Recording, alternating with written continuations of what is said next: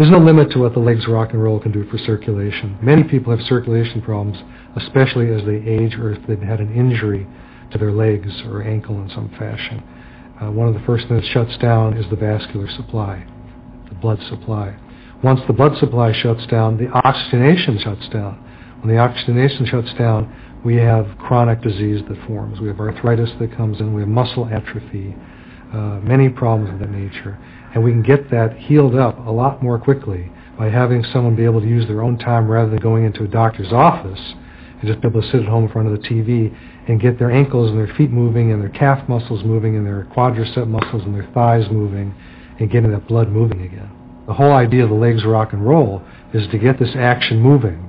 This simple action does so much in terms of creating circulation, muscle conditioning, and range of motion in the joint all over the foot, really, not just the ankle joint itself, but the product of all this is contraction of muscles, movement of blood supply that comes with the muscle contraction, and then mobility of the foot, ankle, and then all the joints connected.